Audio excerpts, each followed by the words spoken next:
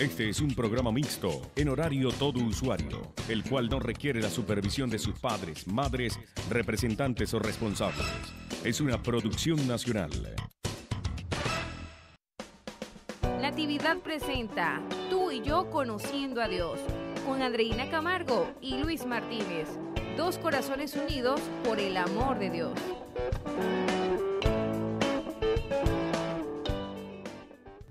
Muy buenas tardes amigos de Radio Natividad 101.7, 95.7 FM. Sean cordialmente bienvenidos en este momento al programa Tú y yo conociendo a Dios. Llegamos a usted bajo la bendición del Dios de Israel, con la protección del Espíritu Santo y la dirección de la Administradora Virgen María de Jerusalén. En la parte técnica nos acompaña, acompaña Angie Varela. Varela y detrás de los micrófonos mi esposa Andreina Camargo y mi esposo Luis Martínez. Les damos la más cordial bienvenida a todos ustedes, los que nos sintonizan a través de la 101.7 FM, 95.7 FM y a través de www.radionatividad.com. Específicamente en nuestro canal de YouTube de Radio Natividad, en el canal que nos caracteriza de YouTube Radio Natividad. En el programa Tú y yo conociendo a Dios, pues les damos la más cordial bienvenida. En estos momentos, pues nosotros queremos compartir con ustedes, de verdad, el resumen en sí de todo lo que encierra este propósito que nosotros nos hemos propuesto como pareja. Y realmente que durante nuestra convivencia, pues hay factores que a veces hacen que pues se el timón como que eh, el barco como que se desestabiliza un poco y pues simplemente estamos en este momento, en esta temporada, si se lo queremos llamar así de esta forma, sobre cómo mejorar nuestro matrimonio. En los segmentos anteriores y programas anteriores hemos tratado sobre el rito matrimonial, que forma parte fundamental del inicio, del punto de partida de este sacramento. Sacramento pues religioso, sacramento pues que forma parte de nuestra vida, de nuestra cotidianidad y que de allí en adelante parte este mar de bendiciones como lo es eh, la relación conyugal. Sí, este matrimonio es un sacramento que es tan importante, ¿sí? Para las personas que deseen hacerlo, porque somos libres, realmente libres de decidir si queremos recibirlo o no. Pero recordándoles que pues también esto trae bendiciones, trae muchas bendiciones también el, matrimonio, este sacramento. Y bueno, eh, usted que nos está escuchando en este momento o nos estás viendo a través de nuestro canal, eh, te invitamos, si en este momento pues tiene una unión conyugal y no se han casado, bueno, invitarlos, exhortarlos a que tomen esa decisión y vayan frente al altar y, y, a bendecir ese, esa vida matrimonial. Si llevan una relación de noviazgo, pues no tomen la decisión a la ligera. No, no, no. Desen la oportunidad, el tiempo, la preparación que conlleva para poder estar dentro, en el, allá en el altar, presente, en donde está Cristo Jesús, para realizar esta alianza perpetua hasta pues que la muerte los separe porque pues bien decíamos en programas anteriores que pues es una decisión totalmente libre y cuando el sacerdote nos pregunta, a nosotros se nos hace muy fácil y muy rápido le podemos decir al padre, sí, sí, ¿están seguros? Sí, ¿están de acuerdo? Sí, están, eh, son conocedores de eh, las preguntas que, que, que, nos están diciendo, o sea, por ejemplo, nos dicen que si es, que si nosotros estamos eh, de acuerdo en amarle, en respetarle eh, toda la vida, eh, respetarle tanto en la salud como en la enfermedad, en la vida, tanto respetarle como en la parte de la abundancia, como en la parte de la escasez, todos los días de mi vida. Inmediatamente respondemos sí. Padre, ¿cuál es la siguiente pregunta? Sí. ¿Y cuál es la siguiente pregunta? Sí. Listo. Colocamos los anillos, da la bendición, el Padre nos presenta ante la comunidad y ya, nos vamos para la, para, para la parranda, nos vamos para la fiesta, nos vamos para la celebración que nosotros pues, pues tenemos, ¿no? Este agasajo y toda esta cosa, este compartir, que le damos más importancia a este compartir que al compartir de la propia Eucaristía, de esta alianza, de esta nueva célula que se está formando. Y sucede que cuando ya se nos ha pasado un año, dos años, inclusive decíamos hace, ¿qué? Dos semanas, dos meses, se nos olvidó cuál fue nuestro compromiso. ¿Cuáles fueron las preguntas? Usted puede visualizarlo en los programas anteriores.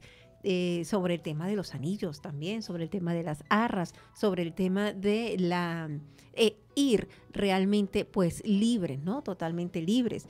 También el tema sobre el respeto, la comprensión, el compromiso, todas estas cosas que forman parte integral de esta comunidad. Sí, estas son parte integral de lo que nosotros estamos este, tomando la decisión frente al altar de decirle que sí al Señor.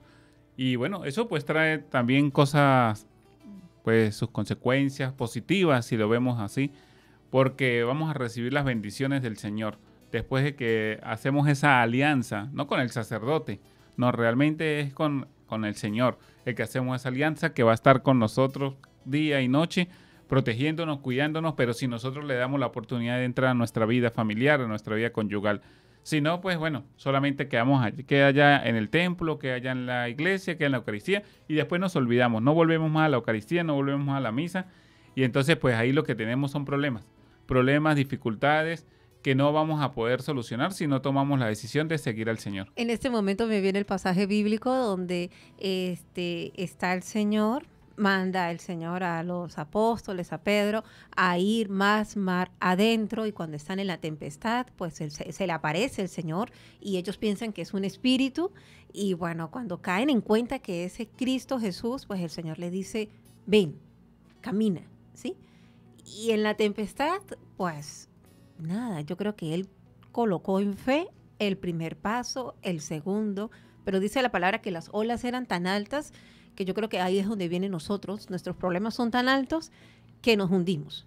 Y el Señor saca la mano, él más, él le dice, Señor, ayúdame, auxilio, me hundo. Y el Señor, ¿por qué dudaste? Hombre de poca fe. O sea, y lo ayuda a rescatar nuevamente y todo vuelve a la, a la tranquilidad. Pues así mismo sucede en nuestra vida matrimonial. Cuando están en esas tempestades bastante fuertes, no hay que alejarse, no hay que perder la fe. Claro, se nos es fácil perderla, porque pues no la veo, no veo la fe, pero es que la, la, fe no es para verla, la fe es para sentirla, para vivirla. Vamos a un corte y regresamos en breve, no se aparten, porque pues, en, en, breves minutos daremos ya el cierre final de este programa de, en este espacio sobre el rito matrimonial.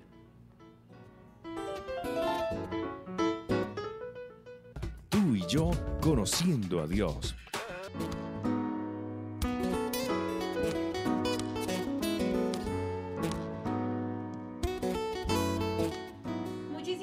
De verdad por estar allí en la sintonía de Radio Natividad 101.7 FM, 95.7 FM y en www.radionatividad.com. Gracias de verdad por acompañarnos en este viaje en el que estamos tratando este tema interesante, cómo mejorar nuestro matrimonio. Y este cómo mejorar nuestro matrimonio, brevemente Luis, ya rápidamente rápidamente, Luis, te diré que nosotros debemos colocar algo interesante que se llama realmente la motivación. O sea, ¿qué me motivó a mí llegar ante el altar del Señor? ¿Qué me motivó? ¿Qué nos motivó a nosotros de verdad eh, realizar este, este encuentro pues, con el Señor y este pacto y esta alianza? Cuando somos novios, decimos no vi o. O sea, el novio no vio antes de casarse. Sí, por eso es que es tan fundamental también e importante que las personas que en este momento pues estén en ese noviazgo realmente haya un conocerse, ¿sí? Sí. Y poder disfrutar realmente este momento, porque es una etapa. Sí, es una etapa, no a la ligera, como decía mi esposa, no lo vamos a hacer, no lo hagan a la ligera, que porque la mamá, el papá, no, que quiere que se case, no es que esto es una decisión para toda la vida. Entonces, usted que está en este momento escuchándonos y es novia o novio, por favor, tómenlo como, con mucha responsabilidad, esto lo del matrimonio. ¿Por qué? Porque esto es para toda la vida. Vas a quedar marcado para toda la vida. Uy, ¿cómo que marcado? Sí, marcado en el sentido, no, escuche. Marcado, ¿por qué? Porque es que ya no te puedes divorciar de ella. O sea, es una decisión que tienes que tomar con mucha responsabilidad y tener con mucha cautela. No que porque la mamá, el papá quiere, no, es tu vida la que vas a decidir. Entonces, por eso es que le digo que es para toda la vida.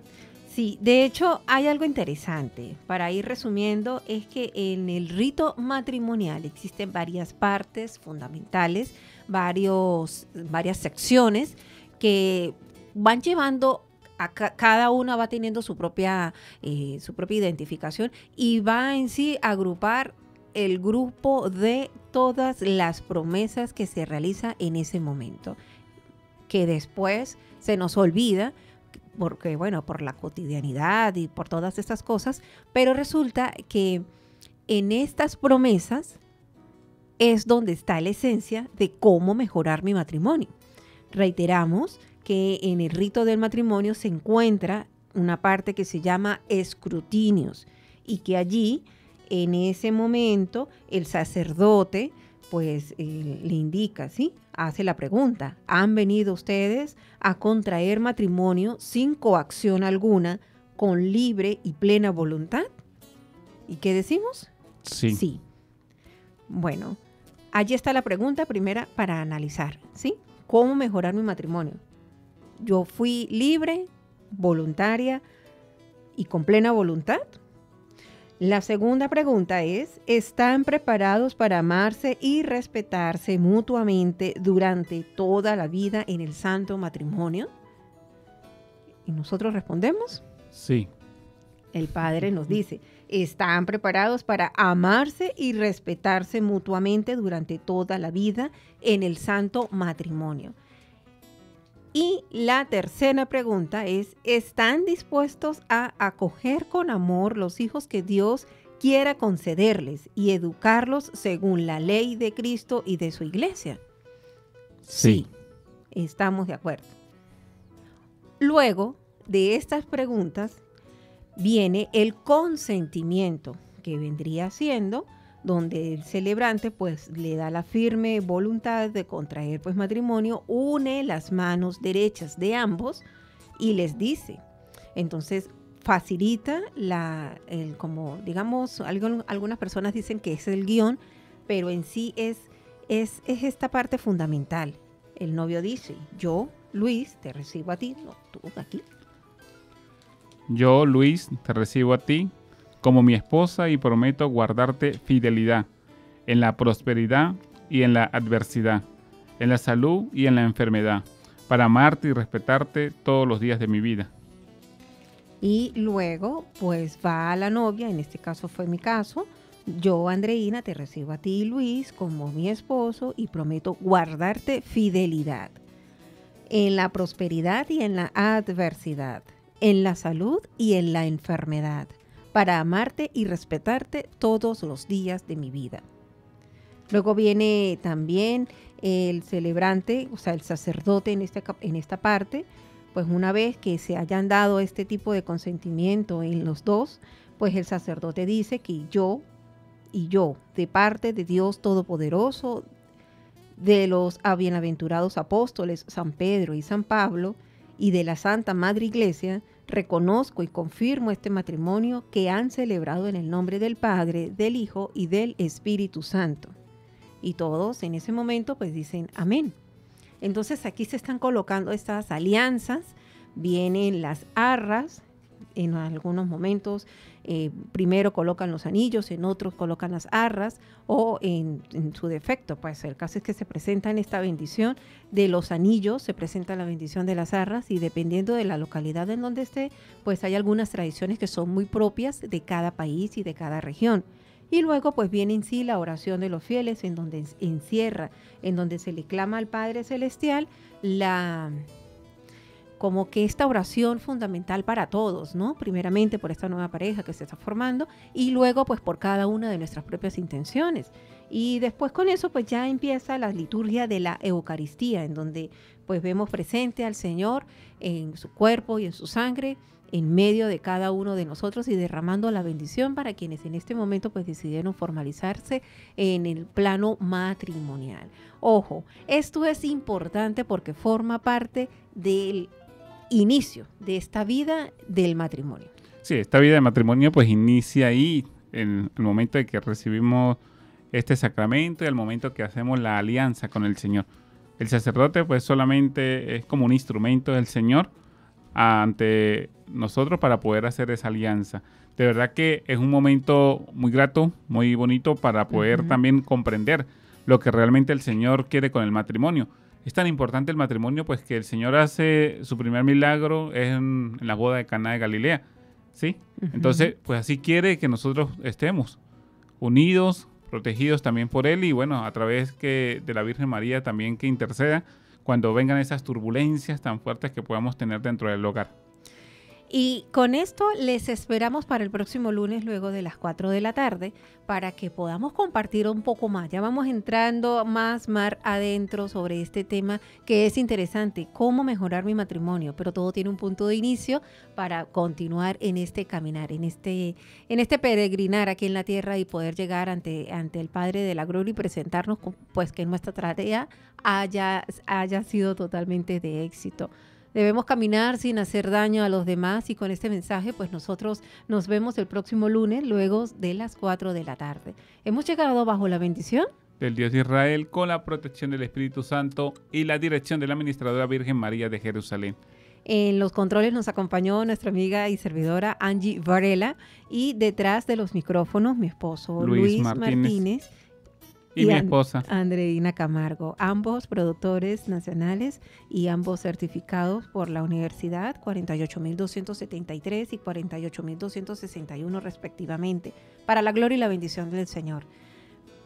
Bueno, nos vemos, nos escuchamos el próximo lunes, después de las 4 de la tarde, por aquí por Radio Natividad, la emisora católica del Táchira. Más información en los programas anteriores. Todo este tema se encuentra allí. Y toda la programación de Radio Natividad disponible para usted a través de un clic.